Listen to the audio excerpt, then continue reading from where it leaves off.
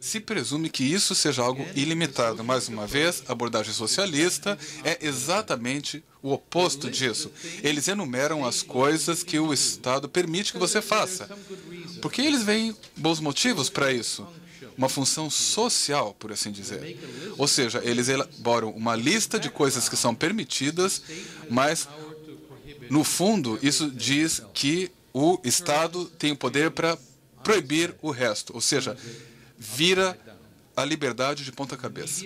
E a mídia, a imprensa, não deve ser considerada de forma diferente em relação a qualquer outra atividade.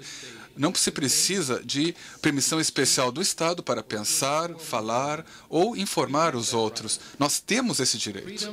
A liberdade não é uma permissão concedida pelo Estado, é uma presunção, e uma presunção normalmente contra o Estado.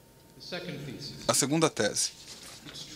É verdade, embora eu tenha alegado isso, que temos alguns motivos especiais para nos concentrarmos na liberdade da, da imprensa, porque é uma liberdade muito importante, porque se você assume uma posição ou outra, não é tão importante assim, a não ser que você seja uh, muçulmano, judeu ou sikh. Nesse caso, há significado religioso, mas para a maioria das pessoas seria irritante, mas talvez você não sentisse isso de forma muito profunda. Mas se o Estado proibisse o exercício livre de, da sua expressão livre, das suas opiniões, isso seria um princípio realmente preocupante. E há vários motivos para isso. Um deles, eu acho que há apoio empírico forte e o argumento uh, de John Smith.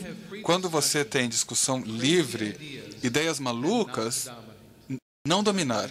Mas às vezes, mesmo assim, surgem ideias muito doidas. Eu vou lhes dar um exemplo. Quando eu passei tempo lá na União Soviética, onde não havia liberdade de imprensa ou discussão livre, a gente se sentava na universidade e uma pessoa à sua esquerda era uma pessoa com bom nível educacional e a pessoa à sua direita era um maluco e acreditava nas coisas mais malucas possíveis. Que éramos controlados pelos marcianos, que o presidente dos Estados Unidos não era ser humano.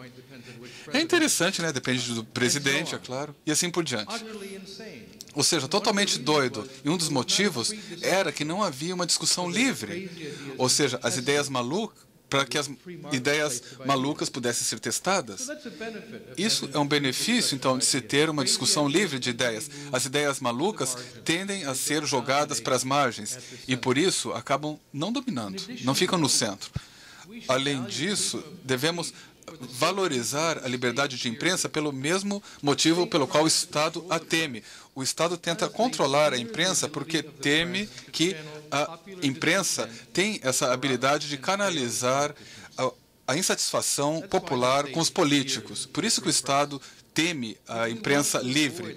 Se vocês quiserem evitar o tipo de monopólio do poder, com corrupção e a tirania que inevitavelmente surgem do poder, temos que nos basear na imprensa livre. A melhor forma, e talvez a única forma confiável de garantir a capacidade da mídia de ser livre, é fazer com que a mídia esteja inserida nos princípios gerais da sociedade livre.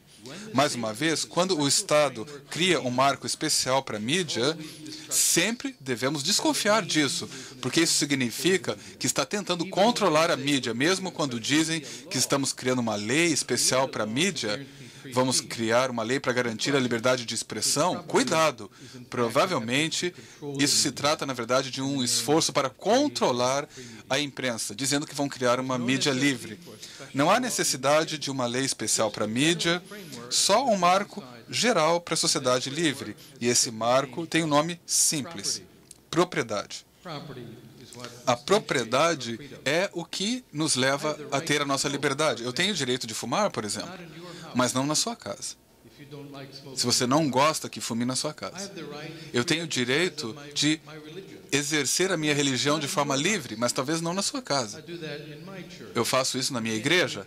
Eu não posso ir à sua igreja e dizer que eu estou exercendo a liberdade de religião. A propriedade é o que dá o espaço para o exercício da nossa liberdade, cria o marco.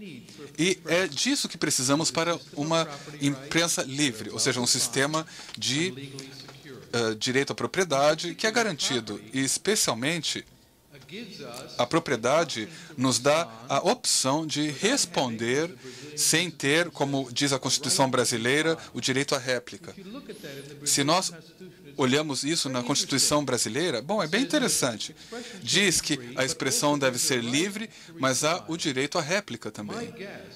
Eu acho que, se vocês olharem para os casos onde isso realmente é exercido, verão que normalmente isso é feito por políticos, que usam isso para calar a boca da mídia. Quando, isso, quando se tentou fazer isso uh, nos Estados Unidos, foi uma tentativa de controlar a opinião dissidente, porque disseram para a mídia: se vocês deixarem que o professor Smith critique o governo, devem eh, dar o direito a alguém do governo a responder. E por isso a consequência era, no final das contas, menos críticas. Então, essas leis de direito à réplica normalmente não criam mais discussão robusta, normalmente acabam limitando as críticas e as discussões. E isso leva ao meu terceiro ponto, que a imprensa deve ser independente do Estado. Propriedade privada, que é o alicerce, a base para a imprensa, o Estado não deve ter nenhuma função na sala de redação, só deve agir para impedir a violação dos direitos. Do contrário, o governo não tem nada a fazer na sala de redação. Zero. Não tem lugar lá. Além disso, eu vou fazer uma declaração simples aqui. A mídia estatal não é uma mídia livre. Deem uma olhada na Rússia agora. Todos os meios de comunicação respondem ao Kremlin. Não há mais mídia livre na Rússia. Ou são de propriedade do Kremlin ou são controlados pelo Kremlin. E se você cria uma estação uh, de TV eh, livre, você logo vai parar na cadeia. Ou seja, a mídia do Estado não é livre, não é independente. Uma imprensa livre significa independência do Estado.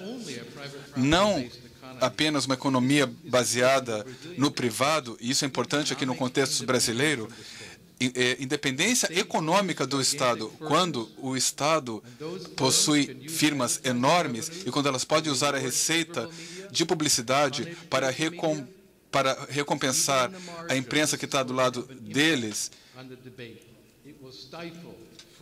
isso acaba diminuindo a expressão livre de ideias. A solução a longo prazo, na minha opinião, é privatizar essas firmas estatais. E aí serão simplesmente participantes do mercado, como qualquer outra empresa e dessa forma não vão exercitar essas agendas políticas. Mas a agenda a curto prazo é a seguinte: eu acho que o Estado deve ser proibido de fazer anúncios. Pegue o exemplo óbvio. Quando a gente olha para o lado, a gente sempre vê publicidade do Correio Brasileiro. Por que, que eles fazem publicidade? Tem um monopólio? Não tem concorrentes?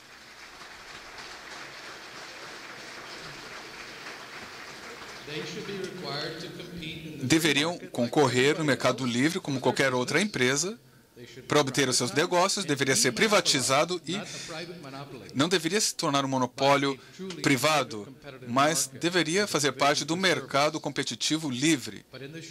Mas a curto prazo, eu proporia que não devem usar a receita do Estado para favorecer esta opinião e punir a outra, e promover essa opinião, que é a favor do Estado, e silenciar a outra, que é contra o Estado. Muito obrigado.